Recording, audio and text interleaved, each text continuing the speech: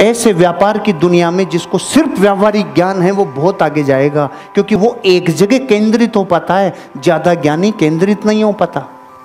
एक मास्टर जी थे, अपने ज्ञान पे बहुत घमंड था, अक्सर विज़िट पे निकलते थे, कि देखिए बच्चे क्या कर रहे हैं, बच्चे कंचियाँ खेलते थे। मास्टर जी बाहर निकलते थे, एक दिन बच्चे कंचियाँ खेल रहे थे तो मास्टर जी ने बोला, अरे ओए, ना तो चोतू मंगलू, तुमने कभी ताजमहल देखा है?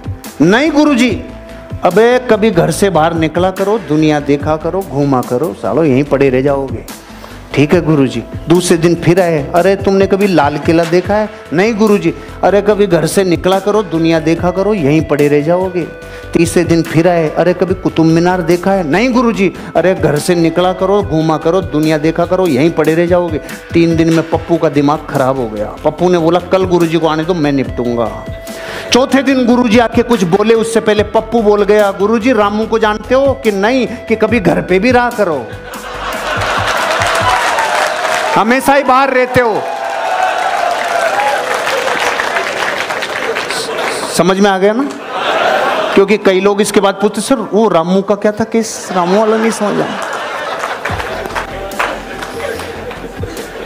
ज़िंदगी में केंद्रित होने के लिए केंद्रित होने के लिए ज़्यादा ज्ञान नहीं चाहिए। व्यवहारिक ज्ञान चाहिए। सचिन तेंदुलकर दसवीं और बारहवीं पास नहीं कर पाया था, उससे पहले तो दुनिया में क्रिकेट में हिला चुका था। वो भी एम बी ए करके जाता ना तो हिल जाता।